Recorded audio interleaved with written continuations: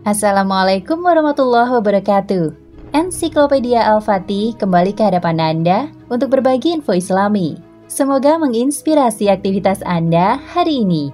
Dan jangan lupa klik tombol subscribe dan aktifkan notifikasi tombol lonceng agar tidak tertinggal berita terbaru dari Ensiklopedia Al-Fatih.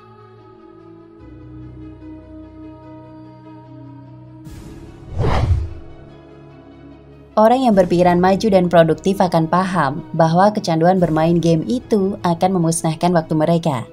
Semua orang sudah tahu bahwa bermain game adalah suatu hal yang tidak baik. Orang tua tidak suka apabila anaknya kecanduan main game. Para guru dan pendidik pun selalu memperingatkan generasi muda akan kecanduan game. Berikut beberapa efek negatif kecanduan game. Misalnya, lama-kelamaan akan menyebabkan kecanduan sehingga akan melalaikan dari tugas dan kewajibannya melakukan hal yang sia-sia dan tidak bermanfaat, menghabiskan waktu di depan permainan game, menjadi tertutup dan terbatas komunikasi dengan dunia nyata karena terlalu fokus dengan game.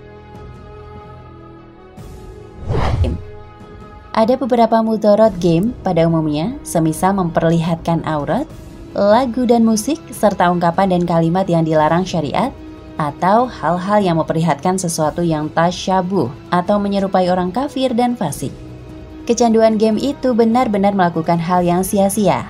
Kita dianjurkan agar mengisi waktu kita dengan hal-hal yang positif dan bermanfaat. Apabila tidak, maka kita pasti akan mengisi waktu kita dengan hal-hal yang sia-sia atau bahkan hal yang negatif.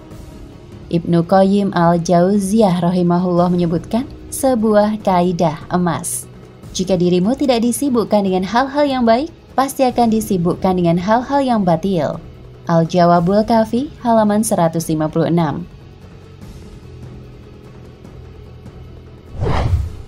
Termasuk kebaikan bagi seorang muslim adalah meninggalkan hal-hal yang tidak bermanfaat bagi dirinya, baik dunia maupun akhirat. Sedangkan bermain game umumnya tidak bermanfaat.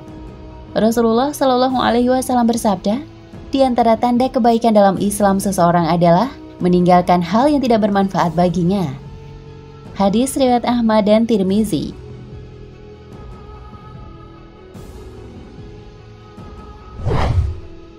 Kecanduan game berarti tidak menghargai waktu yang sangat berharga.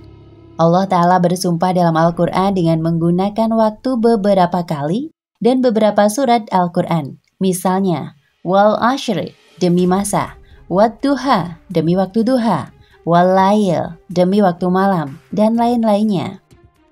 Hal ini menunjukkan bahwa waktu ini sangat penting dan kita harus menyadari betul ini. Sedangkan manusia secara umum lalai akan hal ini. Perhatikan hadis berikut, Nabi Shallallahu Alaihi Wasallam bersabda, ada dua kenikmatan yang banyak manusia tertipu, yaitu nikmat sehat dan waktu senggang. Hadis riwayat Bukhari nomor 6412.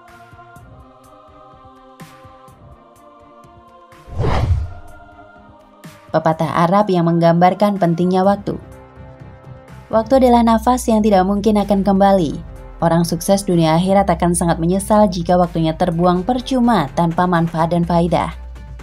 Ibnu Mas'ud radhiyallahu anhu berkata, Tiada yang pernah kusesali selain keadaan ketika matahari tenggelam, ajalku berkurang, namun amalanku tidak bertambah. Lihat Miftahul Afkar. Mereka juga pelit dengan waktu mereka. Hasan al-Basri rahimahullah berkata, Aku menjumpai beberapa kaum. Salah satu dari mereka lebih pelit terhadap umurnya atau waktunya daripada dirham atau harta mereka. Al-Umru wa Soib nomor 85 Hendaknya kita mengisi waktu kita dengan hal-hal yang positif dan bermanfaat.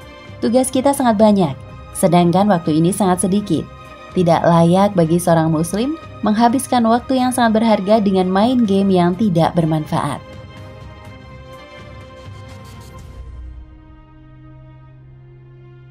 Nah, pemirsa ensiklopedia Al-Fatih, sampai di sini perjumpaan kita kali ini. Semoga menginspirasi.